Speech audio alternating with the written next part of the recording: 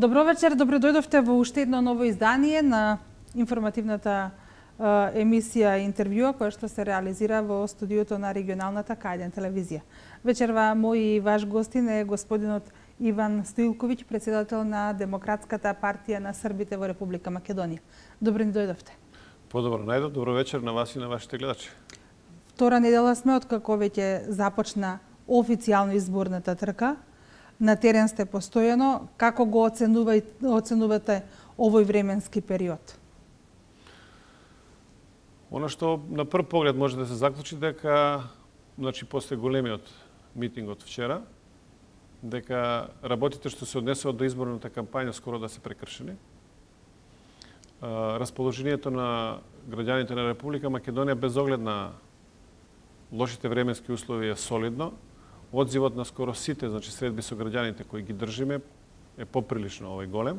Така да тој аспект, ако правиме пресек на првите 7 дена, можеме да кажеме, така, кажеме дека кампањата е некаде 4-4 плюс, а не треба да забораваме дека обично во втората неделна кампања се зголемуваат брзините на активностите, така да ако сме возеле во првата недела некаде од прва до трета брзина, наредната недела, односно денеска почнуваме со трета, четврта, за да можеме последната недела да влеземе со најголема брзина во, во, во финишот на предизборието кога станува збор за изборите кои треба да бидат на 11 декември. Она што за гледачите на вашата телевизија може би бидно, не се само, само ова активности кои се повржени со изборите и кои трајат десетина дена. Значи, ова се континуирани активности. Фактички ние некаде од 2014 година, веднаш од завршувањето на минатите избори, сме на терен, сме со комуникација со луѓето, сите главни одлуки и сите главни активности сме се ги носеле во комуникација со луѓето, така да тој аспект овој ова е само продолжение на една сериозна активност за изминатите две и пол години која имаме, а активноста беше предизвикана пред се од причината што опозицијата се реши да го овој на некој начин да да ја бойкотира севкупната работа како на собранието на Република Македонија, така и на сите институции на Република Македонија за да сето тоа не внесе во една политичка криза која бараше дополнителни активности како о, на нас како политички партии во меѓусебните комуникации, така и дополнителна активност кога станува збор за комуникација со граѓаните на Република Македонија, затоа што граѓаните на Република Македонија, ако сакавме да излеземе на крај со кризата, моравме да ги држиме информирани и да ги држиме близко до комуникација. На наша среќа, сето тоа успеавме да го изведеме на адекватен начин и она што е најдобро и она што може би главна порака беше од тие две и пол години комуникација со граѓаните, дека граѓаните на Република Македонија сакат мирна разрешница на кризата, мирна разрешница воопшто кога станува збор за сите проблеми кои ги со кои се соочува Македонија. Ние таа порака ја свативме, успеавме да направивме компромиси дури понекогаш одеа и на штета и на владеачката, најголемата владеачка партија, носител на коалицијата ВМРО ДПМН, но некои од тие активности одеа на штета и на нас како помали членки на коалицијата, но во секој случај одстапките беа со цел да се дојде до мирно и демократско разрешување на кризата, а мирно и демократско разрешување на било која криза во светот единствено може да се изведе преку избори. Значи, ние како мала политичка партија уште во уште од почетокот, кога почна кризата, да се залагаме за одржување на избори, затоа што знаете како, а, смислата на демократијата се изборите изборите се круна на демократијата. И ако имате проблеми во една држава, нив можете да ги разрешите само со избори. Дури и нашите разговори со меѓународната заедница во тој период беа односно наша сугестија до нив беше ако треба ќе ги повторуваме изборите еднаш, два пати, три пати, десет пати и на тој начин ќе ги разрешуваме проблемите со кои се соочуваме, а не на вештачки начин со така наречени хибридни решенија како што беше, нели имаме ние искуство во Република Македонија со така наречени хибридни договори, почнувајќи од рамковниот па со ова, овие нови хибридни договори, какви што се договорот од Пржино 1, Пржино 2 и слично, па дојдовме во ситуација да се внесе некој во власт што воопшто таа доверба и та и тој начин на практикување не го заслужил од како резултат на доверба од граѓаните. Од граѓаните. Господин Стилко, вие сте Стилковиќ, вие сте долги години на политичката цена. Го спомнавте рамковниот договор, ги спомнавте договорите од Пржина. Лидерот на Социјалдемократскиот сојуз сега актуелно доаѓате од Куманово, кое што е двојазично и мултиетничката средина. Е Куманово. Да, мултиетничката средина таму чинам дека е најмногу застапена. Како ја коментирате изјавата на лидерот на СДСМ Зоран Заев дадена пред иселениците на, на Македонија во Швейцарија за можно менување на рамката или излегување на рамката од така наречениот рамковен договор? Знаете како? Граѓаните во Велес може би како компактна национална средина, а, тие изјави ги доживуваат на еден начин. Ние од мешовите тие национални средини тие изјави ги доживуваме на друг начин. Меѓутоа, овај, не верувам дека некој во Велес не затоа што има против нешто против албанци или против албанскиот јазик, би ги дал децата од прво одделение да учат албански јазик, кога некако тенденциите светски и воопшто тенденциите се одат на друг, во друга насока.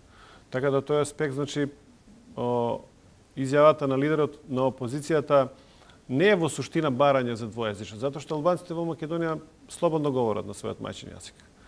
А, туку кога во политиката кога ќе сакате не кажете нешто поголемо, обично се заскриете за некаква си терминологија која значи нешто сосема друго. Најавата за двојазичност во суштина е најава за политичка и, и економска дестабилизација на Република Македонија. Најавата на лидерот опозицијата за излегување надвор од рамковниот договор со неговото толкување во суштина не е тоа, него во суштина е у суштина барање да се распакува уставот на Република Македонија ако го распакувате уставот устав на една држава, во суштина го распакувате целиот уставен, политички и секој друг систем кој функционира како како врз, везивно ткиво во, во, во било која државна заедница. Така да тој аспект станува збор за може сериозни значи, пропусти во, во политичката активност на лидерот на опозиција, опозицијата и воопшто пропусти на во делувањето на ова раководство на Социјалдемократскиот сојуз. И гледам дека тие изјави не наидоа на на, на сериозен, они не идоа на сериозен, меѓутоа не одидоа на, на сериозен одзив кај албанската национална заедница од проста причина што социјалдемократскиот сојуз во минатото правеше лупинзи во со своите ветувања и со своите активности, така да јас ќе подстам дека на нас србите ни објаснуваа што е добро за нашите за нашиот идентитет, На турците ми објаснува дека се, се турскиот председател Режеп тај, тај Ердоган е диктатор. На американците им кои гласа за Трамп ги направија лудаци дека сите овие кои гласа за Трамп се лудаци, а сите овие кои гласале за Клинтон се нормални американци. И на крајот на кришта сега се обидуваат и на албанците во Република Македонија кои имаат десетина политички партии кои некои од нив дури изеда оружје во рака, ги ризикува своите животи да му објаснуваат што е добро за нив. Тоа е во најмала рака е навреда за припадниците на албанската заедница во Република Македонија. Ја мислам дека албанската заедница во Република Македонија таа навреда нема да им ја прости и дека ќе ги кази на овие избори дека нема да добијат ниту процент од гласовите на кои се надевале дека ќе ги добијат. И она што е можеби најважно, ниту еден глас, односно ниту една политичка активност која доведува до нарушување на мирот и стабилноста во Република Македонија не е вредна за ниту една значи, капка пролиена пот на македонските граѓани, не е вредна ниту една кап за пролиена солза на било кое македонско дете, кое би можело да биде дојде под удар на активностите кои би можеле да следат од се тоа она што опозицијата го, на, го најавува како своја политичка активност. Така да тој аспект сметам дека заради бројните пропусти, И заради сето она што опозицијата се обидува да го наметне како проблем во политичкиот живот на Република Македонија, ќе доживее убедлив пораз од една страна и од друга страна она што посебно ме охрабрува, односно треба да бидат охрабрени сите граѓани на Република Македонија, тоа дека во изминатите 15 на 20 дена по завршувањето на изборите во Соединените Американски држави дојде до условно речено сериозна деескалација на напнатостите кои владеат во светски размери, така да ќе ве подстам само дека ние имавме пред 15-20 дена сериозна ратно-хушкачка пропаганда во светски размери, така да знаевме кој авион каде прелетал, кои бродови, кои разорачи каде се стационираат и слично. Значи така да победата на Трамп во Соединетите Американски држави донесе една нова клима во светските односи и таа нова клима во светските односи е клима на разговор и разрешување на проблемите, а не клима на конфронтација и правење на проблеми. Така да тој аспект мислам дека граѓаните на Република Македонија кои со задоволство дочека победата на Доналд Трамп, имаат сериозна причина тоа да го направат, а сите оние од опозицијата кои се прашуваат зошто добар дел од граѓаните на Република Македонија победата на Доналд Трамп ја сметаат за своја победа, јас ќе се обидам само со една кратка дигресија да ми, обја, да ми објаснам приказата. Па, почитувани пријатели, ако се сеќавате дека 8 македонски полицајци изминатата година беа убиени во Кумано од терористичка банда која се обиде да ја загрози стабилноста и мирот во Република Македонија. Само да ви кажам дека доколку победеше Хилари Клинтон, ние идната 2017 година може би ќе требаше да ги аболицираме, па дури да ми платиме оштета заради тоа што се ми ги загрозили човековите права и слободи. А ако сметате дека ова јас претерувам, само ќе подстам неслучено лидерот на опозицијата, два дена после настаните се појави во Диво населје, таму каде што беа сериозно овај нарушени мирот и безбедноста во Република Македонија. Така да тоа се само подготовки, обично тргнува со со ситни подготовки за да се завршат крупни работи. Така да тој аспект мислам дека сите тие активности беа едно големо промашување во нивната политичка активности знаете како, во политиката кога грешите, казата стигнува, а граѓаните на 11 декември таа казна не ја прават на друг начин. Ја просто едноставно, земат хемиска хемиско пенкало и на тој начин ги решаваат проблемите кои ги создал некој друг, за да им кажат дека во наредниот период не смеат тоа да го прават. Граѓаните сакаат сигурна работа, добра екзистенција, нешто што во последните неколку години почна да се раздвижува, значи бројот на невработеност опадна, животниот стандард се зголеми. Во изборната програма која што ја промовирате вие како дел од коалицијата за подобра Македонија, се нудат 70.000 нови работни места. Дали економската програма која што ја нудите е она што најмногу ги интересира граѓаните, меѓу кои што често сега во овој временски период сте вие политичарите? Знаете како, ние имаме мощна неблагодарна работа. Значи, некога станува збор за мене како припадник на Српската национална заедница во Македонија, туку и воопшто, ајде да се обстрнам на лидерите на македонскиот народ, односно на македонските политички партии. Ние имаме многу неблагодарна работа. Значи, ние не, не, ние не смееме да размислуваме едносмерно и еднозначно. Заради тоа што ако би размислувале едносмерно и еднозначно би запоставиле голем дел од проблемите. Така кога и кога станува збор со вработување. Да, ние имаме историски пад на невработеност од 38-39% на 24%. Имаме креирани безброј нови работни места и тоа се е во ред. Меѓутоа, како одговорно лидерство во државата, јас се сметам како еден од луѓето кои ние сме како партија трети во како коалиционен партнер во коалицијата за подобра Македонија, што значи дека имаме барем малку влијание во дел од работите кои се случуваат во Република Македонија. Нормално дека имаме и одговорност. Меѓутоа, ако сакаме да бидеме сериозно лидерство во државата, тогаш мораме да размислуваме за две работи. Првата работа да отвориме сериозен број на нови работни места, односно да ги задоволиме елементарните човешки потреби врзани за работа, екзистенција и слично, но од друга страна да не ги задоволиме оние работи, да не заборавиме да ги задоволиме оние работи кои доаѓаат како дел на така, та, така наречена емотивна, емотивно задоволство или емотивна врска на граѓаните со соседната држава, со состојниот народ и слично. Така да, од друга страна, не смеат во ниту еден случај значи, да се заборават и националните интереси, и националното достоинство, и сето она што следи, како, како условно кажано, примерно во постоење на една човечка единка и сето она што произлегува како незино идентитетско обележи. Значи, ако ги запоставиме, ако се фокусираме само на на економијата, ако се запостават националните чувства на граѓаните на Република Македонија, зборуваме за македонскиот народ, за делот од српскиот народ, за турците во Република Македонија кои живеат и понатаму, значи ние мораме да водиме сметка и за тие делови. Затоа што ги запоставиме тие делови, ако зборуваме само за економија, мислам дека а, нема да стигнеме многу далеку, затоа што светските тенденции, реков пред малку поно, она поготово она што се случува со Брекзит, со победата на Доналд Трамп покажува дека дека клатното помеѓу економијата и, и, и, и суверенизмот, одnosno идентитетските прашања некаде е, достигнува равнотежа што не беше случај до пред малку. Значи имавме една сосема друга е, конгломерација на, на меѓународно политички односи кои, кои инсистираа само на глобализација.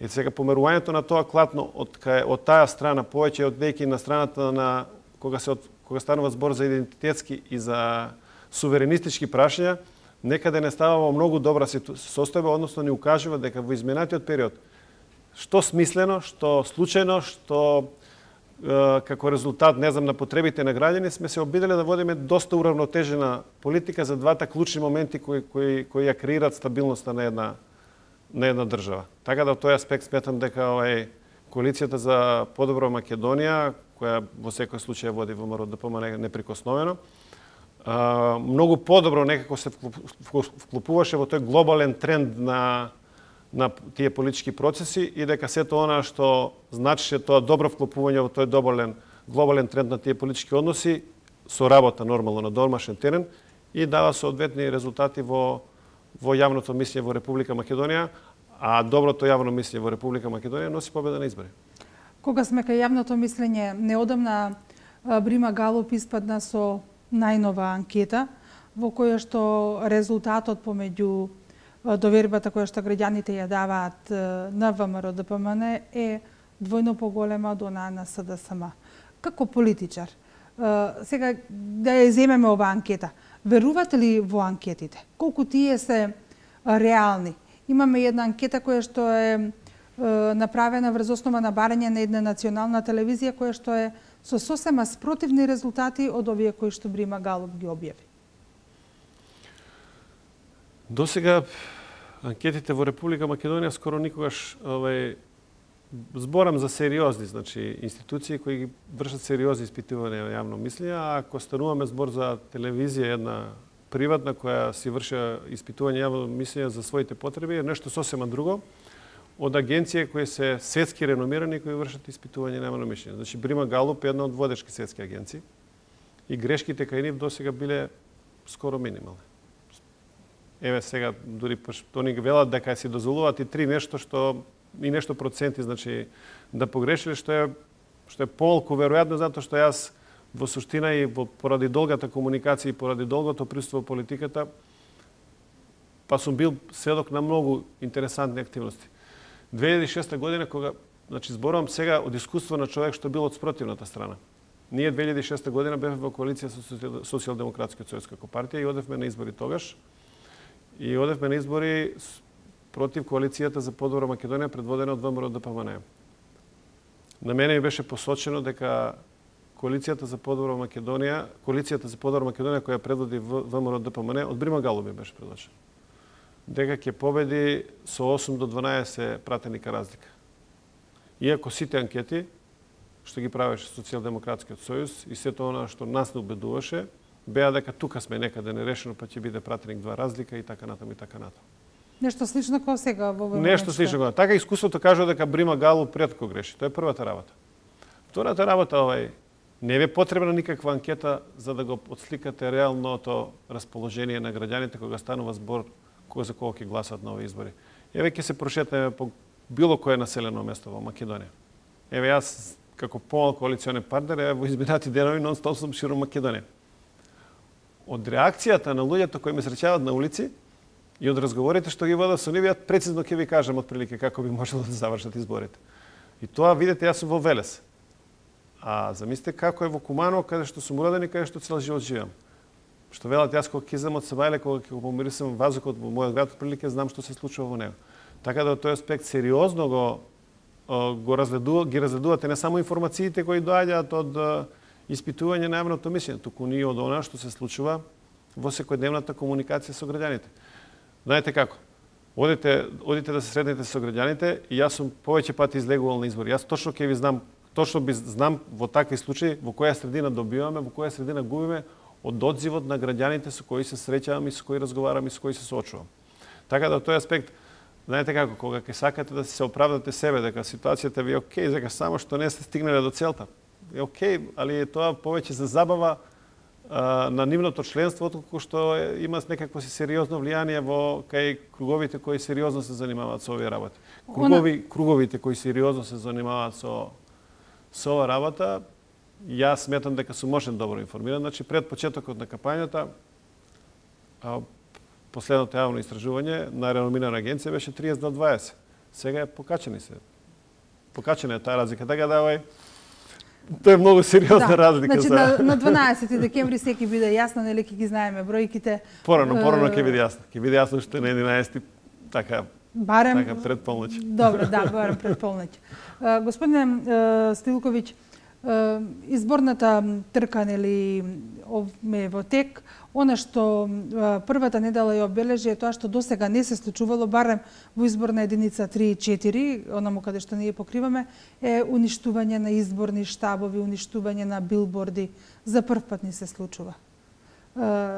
Имаме намалена политичка свест или за рекламирање или ова е нешто сосема друго? Нервозата си го прави своето. Оно што Ја ќе ви кажам пример од мојот роден град. Значи, ние во Куманово имаме отворено 15 така наречени тие местни штабови канцелари за изборни активност, значи на различити места од градот. И едно место, значи да имаме една поголема таа канцеларија, каде што условно кажано тоа ни е централен изборен штаб за Куманово, каде што ние сме сериозно организирани, например. И за прв пат ни се случи Социјалдемократскиот сојуз да земе или да ангажира штаб на нивен месен комитет веднаш до просториите на нашиот главен штаб. И сега замислите, ние се собираме по 100, 100, 200, 300 луѓе, они се собира по 10-20. Јас не верувам дека они штабот го отвориле заради тоа што баш на тоа место им било потребно да го отвора штабот, туку го тоа го отвориле, предпоставувам, некои други причини.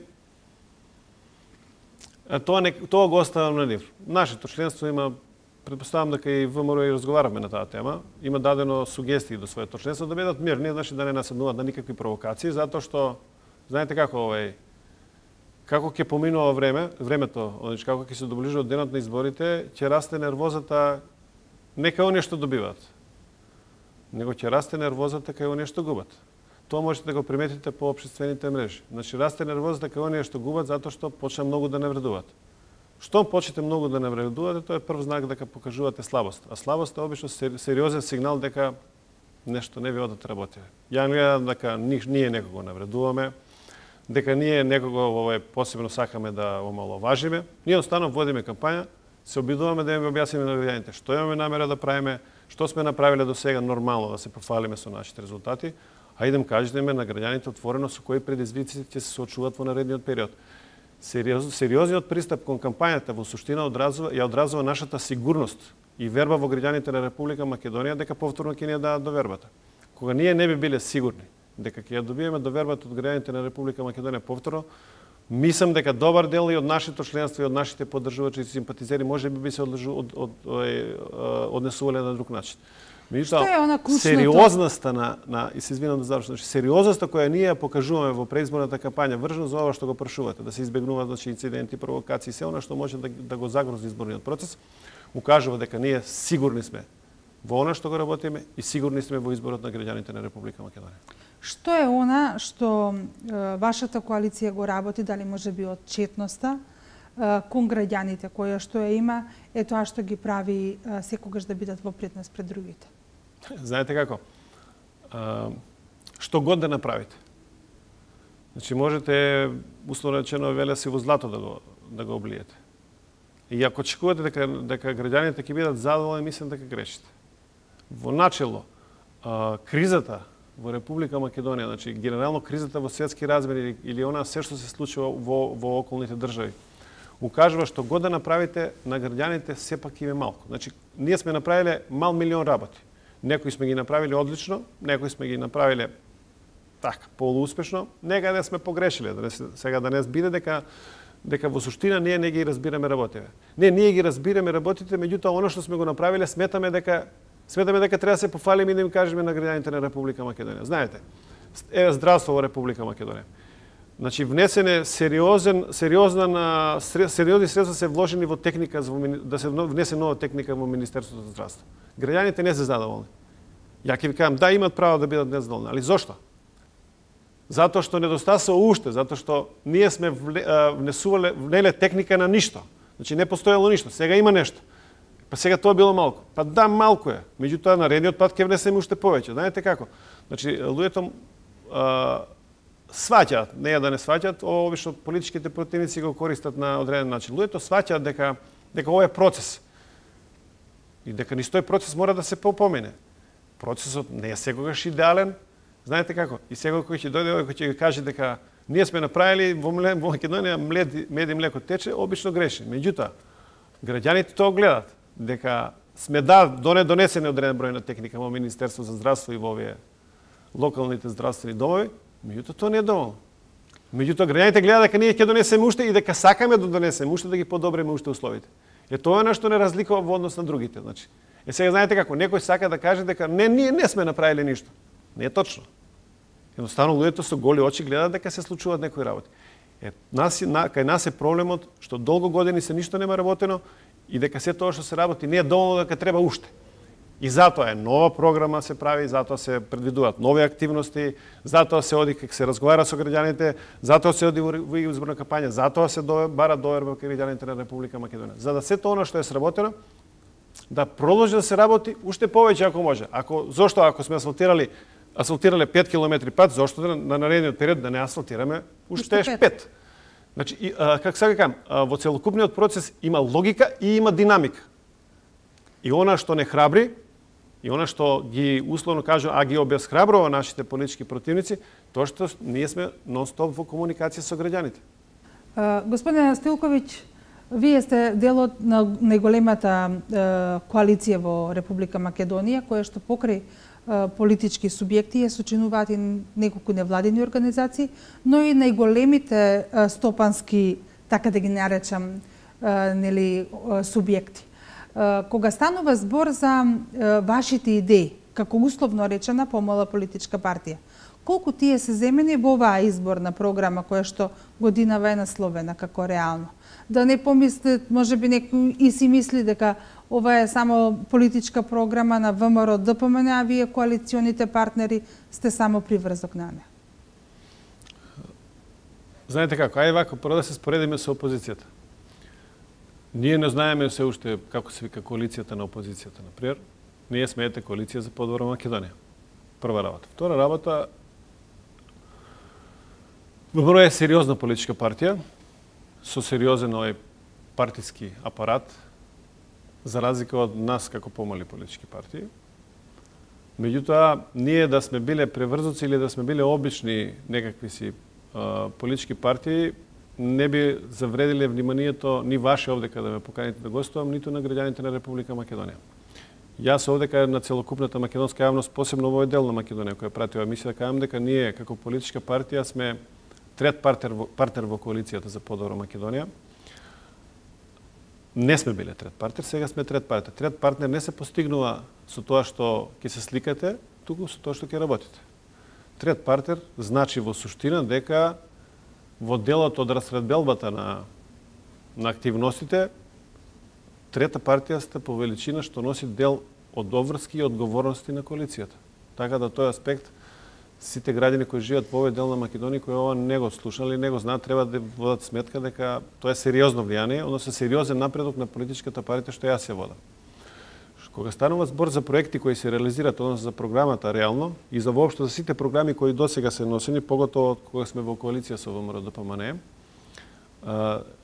важно е да сватат дека нашите меѓусебни односи израс, израса во сериозно партнерство. Тоа партнерство подразбира кога ќе се прави изборна програма, ВМРО да не покани и да побара од нас сугестии, мислења, проекти, програми кои би сакала да ги стави во целата изборна програма, за кои ние сме заинтересирани таму каде што живее население од Српската заедница во Република Македонија и некои други проекти за кои сметаме дека можеле да бидат сериоз, сериозна корист за граѓаните на Република Македонија. Но тука треба да бидем искрени да кажем на, на граѓаните кои и на гледачите на вашата телевизија.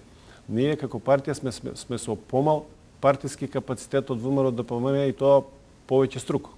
Така да тој аспект ние можеме да даваме предлози и инициативи, меѓутоа обликување или дообликување на реални програми е малку потешка работа и бара сериозен партиски апарат. Ние тоа се уште го немаме. Така да, во тој аспект ние даваме само предлози, а ВМРО ДПМН со нивните тимови ги вообличува тие наши предлози во програма и ги вградува во изборните програми како што дел се вградени и сега. Оно што е битно да, да знаат гледачите на вашата телевизија, ние во овој момент Во општина Стара Нагоричане, каде што сме локална самоуправа, реализираме седум проекти со баснословни вредности. Така да тој аспект Имаме сериозно разбирање од ВМРО да ДПМН за потребите и на нашата партија, и воопшто за потребите она што ние го сметаме како потреба на граѓаните на Република Македонија. Така да постојат градови во Македонија каде сме давале предлози за проекти кај што воопшто не живее српско население и биле прифаќени. Значи кога ќе процениме дека нешто е добро и може да се направи, ние даваме предлог, разговараме и ВМРО ДПМН подосно одлучува дали ќе го претвори во, во проект и тој проект ќе го стави во изборната програма или не. И тука денекаде да завршуваат нашите активности во врска со правењето на изборната програма. Инако ние како партија имаме стратешки цели на, на како политичка партија имаме 10 основни цели и активности. Така да од тој аспект тоа е само еден мал дел од, од сето она што што значи политичка активност на на една политичка партија во коалицијата за подобра Македонија, како поготово како партија која како ние која прави сериозен напредок или исчекор напред во во во редовите на коалицијата. И за крај, ваше размислување 11 декември ги решавали сите проблеми на Република Македонија кога станува збор за онаа политичка криза која што ја имаме веќе две години? На 11 декември нема ништо да се реши осим тоа што ВМРО да ДПМН со коалицијата за подобро Македонија ќе победи изборите. Значи сите оние предизвици со кои Република Македонија се соочуваше до пред малку ќе продолжи да се соочува и понатаму, меѓутоа она што е битно и зошто изборите беа битни.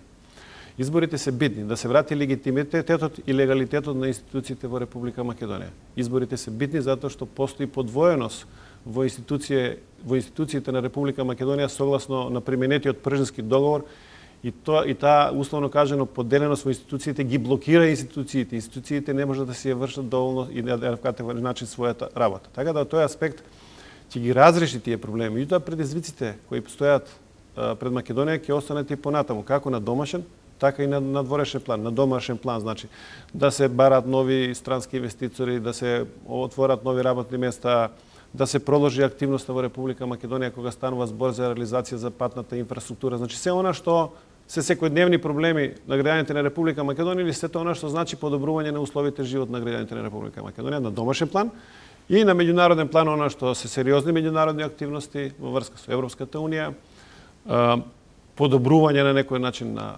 политичката позиција на, на Република Македонија во однос на проблемите кои оптеретуваат во однос на меѓународната заедница врзани со со проблемите за името. Така да тој аспект предизвиците остануваат, работата останува, а дали и како работата ќе заврши или ќе се завршува, зависи од степенот до на граѓаните на Република Македонија. И затоа граѓаните може би приметуваат дека ние нови избори, одејки од изборна единица во изборна единица, од населено место до населено место, бараме скоро секаде пратеник повеќе. Така да, овај, мислам дека граѓаните на Република Македонија ќе ја сватат потребата од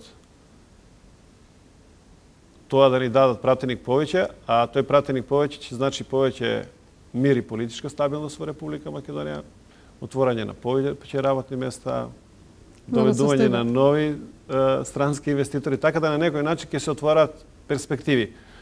И она што е можеби најбитно, знаете како, со 63 пратеника ќе се одбегнат сите опасности кои стојат пред Македонија вржани за рекомпозиција или прекомпозицијата на незиното внатрешно уставно правно уредување, што е може сериозна работа и може сериозна гаранција за сигурноста, за мирот на граѓаните на Република Македонија и за сето она што начекува во наредниот период.